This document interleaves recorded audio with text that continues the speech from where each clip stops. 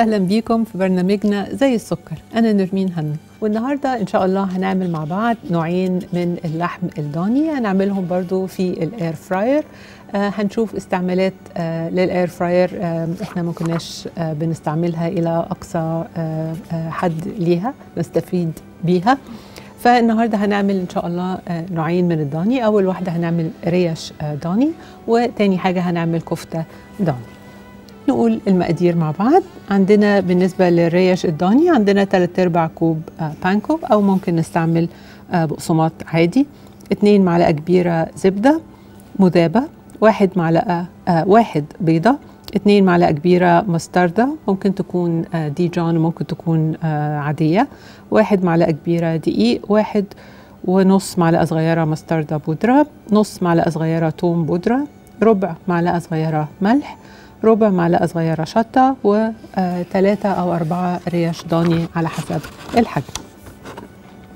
بالنسبة للكفتة الضاني عندنا تلتين كوب زبادي آه يفضل يكون زبادي يوناني. عندنا اتنين ونص معلقة كبيرة شبت مفروم واحد فص توم مفروم ملح وفلفل 250 جرام آه لحمة ضاني مفرومة. ربع معلقة صغيرة كمون بودرة ربع معلقة صغيرة قرفة مطحونة ربع كوب مية وربع معلقة صغيرة بشر برتقال. okay نبتدي بالريش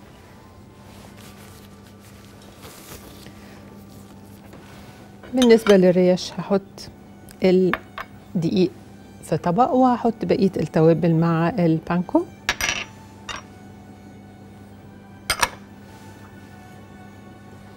ونخلطهم مع بعض. حطيت آه مستردة آه شطة آه وملح. نجيب شوكة ونقلبهم مع بعض.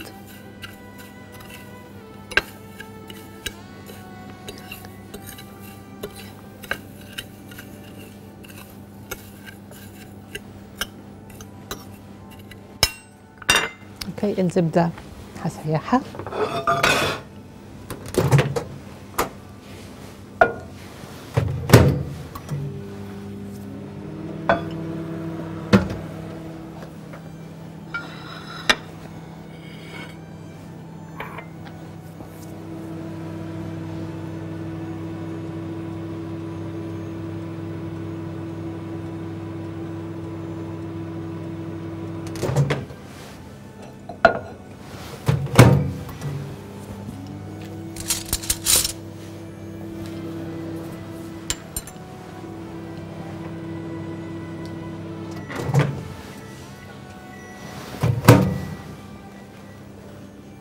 Okay. الزبدة هخلطها مع ال panko.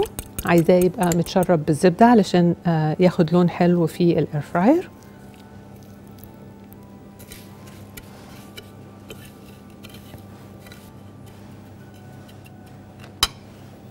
وهخلط المستردة مع البيض.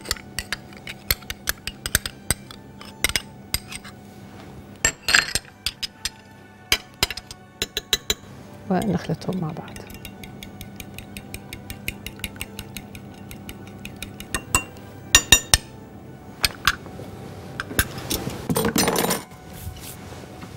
ودلوقتي آخد الريش والريش يفضل إن هي تكون مدقوقة بال بالشاكوش بتاع اللحمة.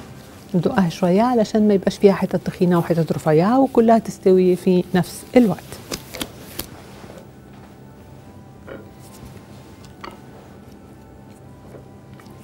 الريش نبقى منشفينها كويس آه وبالتالي مش بتحتاج آه دقيق كتير يا دوب بس حاجة بسيطة خالص علشان البيض والبسطرمة يلزقوا فيها بسهولة.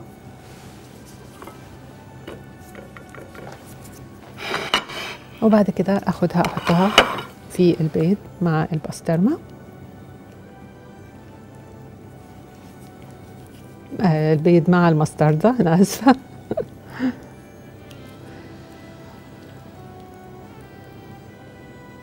وبعدين في البانكو.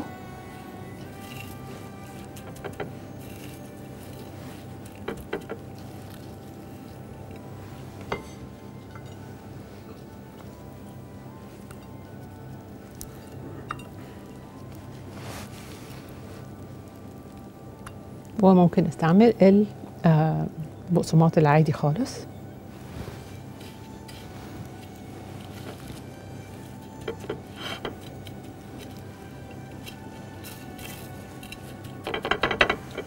أوكي. كده جهزناهم. يبقى فاضل إن إحنا نحطهم آه، في الأير فراير. ممكن نستعمل آه، ورق زبدة. نحطه في قاع ال air fryer ممكن ما نستعملش حاجة خالص. لو إحنا مش هنحتاج إن إحنا نستعمل ال air fryer كتير ممكن نحطها في ال basket على طول. لكن عشان ما نوسخهاش آه، بسرعة ونقدر نعمل كذا دور آه، ورا بعض. حطيت القاع بتاع آه، صينية ال tart أو تشيز كيك أو أي قاع نقدر ندخله في الاير فراير وهحط الرياش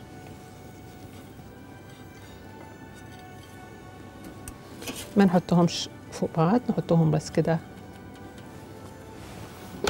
جنب بعض. وبعد كده هنشغل الاير فراير على درجة حرارة 200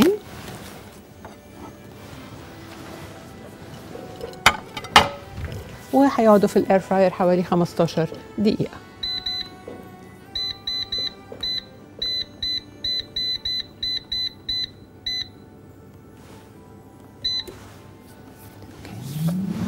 وبكده نكون خلصنا آه، أول وصفة الريش ودلوقتي نطلع فاصل وبعد كده نعمل الكفتة مع بعض.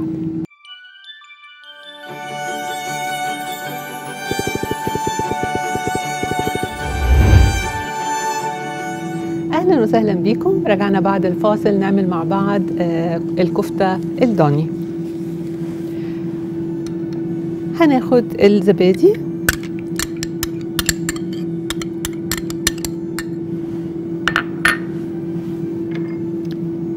بش البرتقال. الثوم. شوية من الشبت.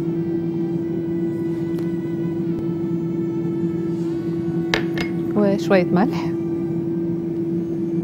وهنخلط دول مع بعض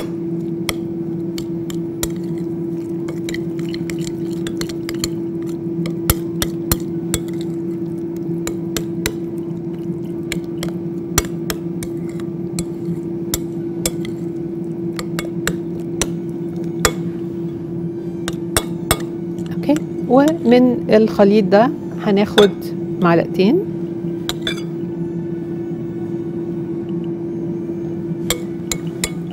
والباقي ده هنحطه هيبقى صوص هنقدمه مع الكفتة.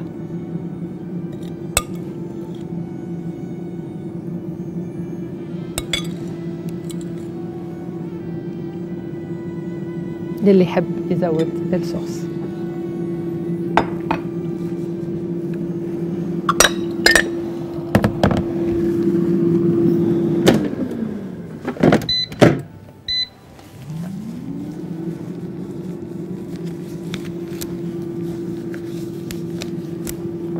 ودلوقتي هنضيف كل بقدي- بقية المقادير كلها مع كمية آه، مع معلقتين الزبادي اللي خليناهم لوحدهم. وبالنسبة للمية هنشوف لو الخليط محتاج يتحط له آه، شوية آه، مية بحيث إن هو يعني كان أصلا مش حاسين إن هو طري كفاية ولا مش هنحتاج المية. ده على حسب اللحمة فيها مية كتير ولا لأ. آه، فالمية دي مجرد حسب الحاجة.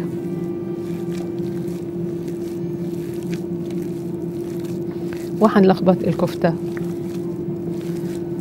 أو آه، اللحمة المفرومة اللحمة الضاني المفرومة مع كل المقادير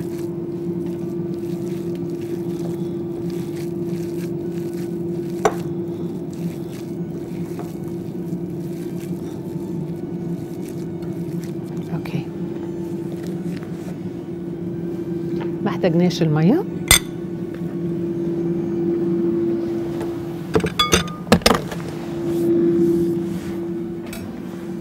وأجيب طبق وأبتدي أشكل فيه الكفتة.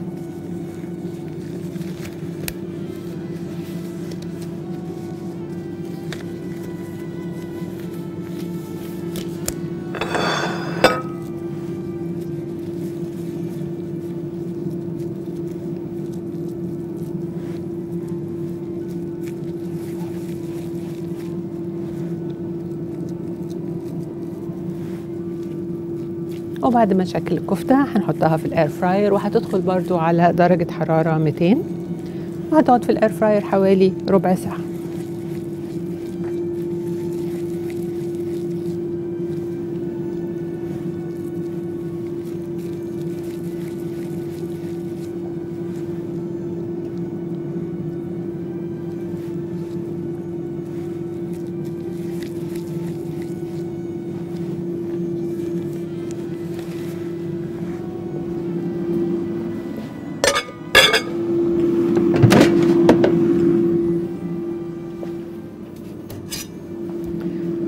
هنحط برضو قاعدة آه، صينية التارت وندخل الكفتة.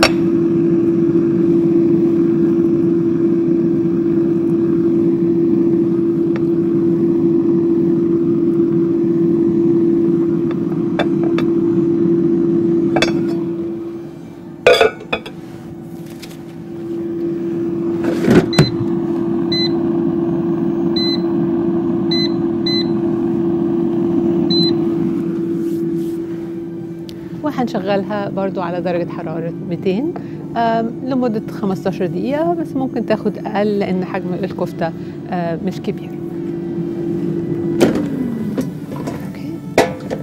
كده الريش جاهزة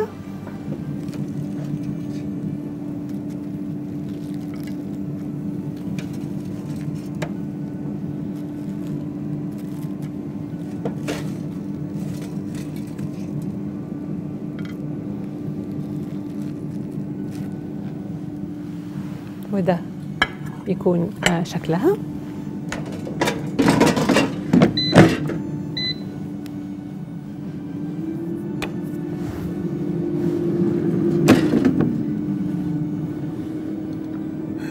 ودلوقتي نبص على الكفتة.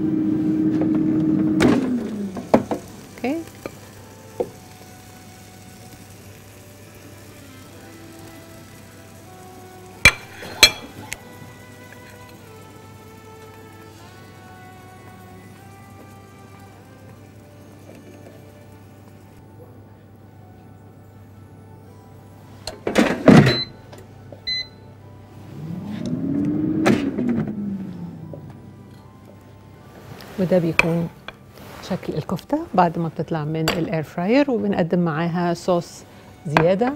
للي يحب آه ياخد آه صوص زيادة بنفس طعم التتبيله اللي آه حطيناه جواها وبكده نكون خلصنا حلقة النهارده. يا رب تكون عجبتكم وأشوفكم في الحلقات الجاية. على خيرة الله إن شاء الله.